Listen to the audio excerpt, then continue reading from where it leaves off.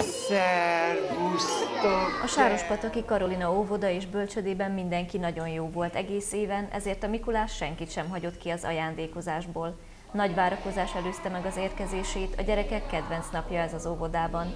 Énekléssel fogadták a nagyszakállut, és csak ámultak a nagy zsákja láttán. Sok ajándékot hoz mindig, minden évben. Kiknek hozza az ajándékot? A gyerekeknek. És milyen ajándékot szokott hozni? Csak itt, Te miért várod őt? mert én nagyon szeretném mindig, hogy hozzon valamit. Az ajándékcsomagok kincsei a gyerekek legnagyobb örömét jelentik. Az óvoda mellett otthon is meglátogatta őket a Mikulás, már reggel piros csomagok fogadták őket az ablakba tett kis csizmákban.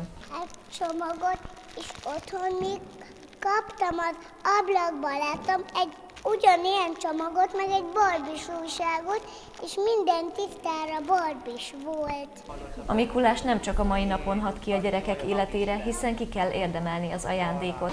A kérdésre, hogy ki kaphat csomagot, egyértelmű a válasz. Mert jók vagyunk. Jók voltatok egész évben? Jó voltam. A programot a Comenius főiskolai kar csecsemő és kisgyermeknevelő gondozó hallgatói színesítették bábelőadásokkal a hiú kisfenyőről. A felkészülés és maga az előadás is jó gyakorlat volt számukra, hiszen tanulmányaik végeztével bölcsödésekkel fognak foglalkozni. Nagyon tetszett szerintem a gyerekeknek, érzékelhető volt, amikor például a pillangó és a mackó feljött, hogy mennyire örülnek neki. Igaz, nagy volt a zsongás, de ez teljesen érthető, ugye nem minden nap látnak ilyet.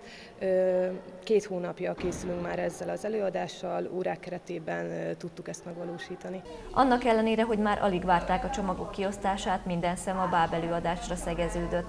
Ahányszor új állat tűnt fel a paraván mögül, felmorajlott a terem.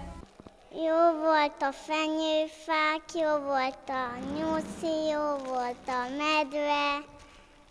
December 6-a mindig különleges nap az óvoda életében, heteken át zajlik a készülődés, a vers és énektanulás, a télapóvárás. Az óvónők minden éven próbálnak újdonságokat kitalálni, hogy egyik gyerek se unja ezeket a napokat.